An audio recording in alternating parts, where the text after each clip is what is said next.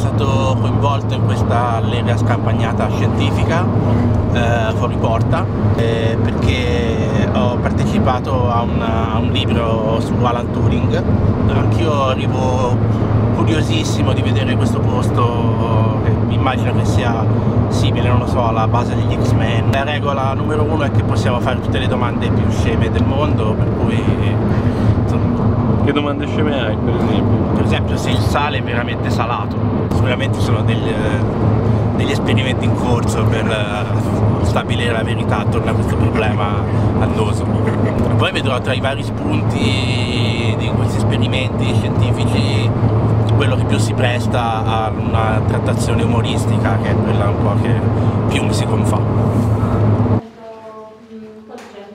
Quello che andiamo a vedere è quel signor lì tutti gli esperimenti di fisica delle particelle e gli acceleratori si assomigliano tutti quanti, in buona sostanza sono dei grossi bariloni eh, che, che, guardano quello che succede nel corso della, della, della, dello scontro tra le particelle. Eh. I, I, tubi del fascio arrivano così, le particelle si scontrano nel cuore dell'esperimento, producono qualcosa, che è quello che noi vogliamo vedere, che se ne esce tipo spray all'esterno e noi gli mettiamo intorno una cosa che assomiglia il più possibile a una sfera, in realtà costruire una sfera non è, non è facile, quindi costruiamo in realtà dei cilindroni che hanno più o meno una simmetria sferica con diversi pezzi che misurano diverse cose di cui vi racconto con calma. Giusto perché non abbiate un'idea delle dimensioni, noi siamo così, questo oggetto sono 45 metri di lunghezza e circa 20 di altezza.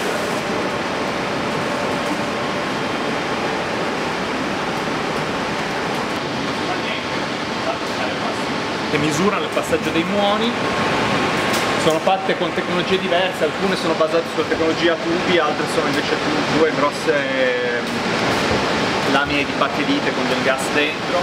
Ce ne diversi tipi perché alcune sono più precise nel misurare la posizione ma più lente nel dare il segnale, altre